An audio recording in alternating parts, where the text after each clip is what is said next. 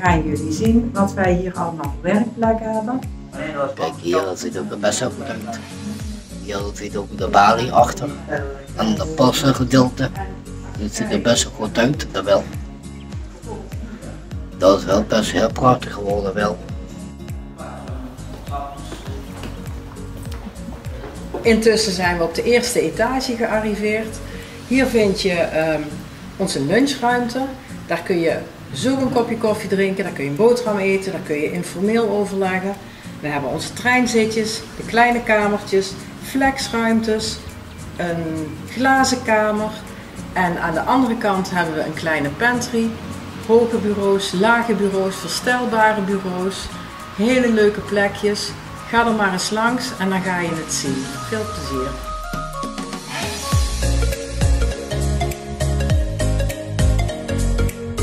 Vind het een super eh, gebouw eh, geworden.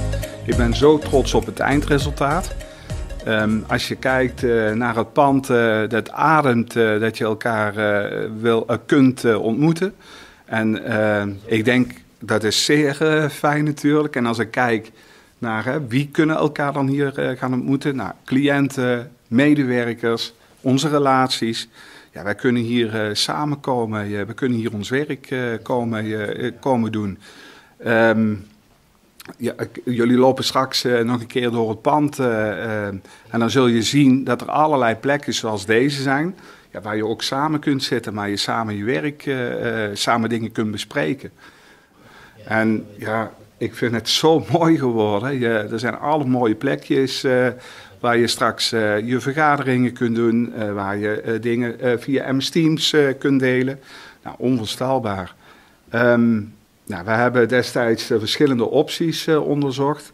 En de opties uh, die we onderzocht hebben, uiteindelijk was dit wel de goedkoopst mogelijke oplossing. En ja, rest mij voor nu om jullie van harte welkom te heten uiteindelijk in dit pand. En ja, kom eens een keer een kopje koffie drinken. Dat, dat zal jullie zeker goed bevallen. Nou, ik zou zeggen op het nieuwe Centraal Bureau. Ja. Proost.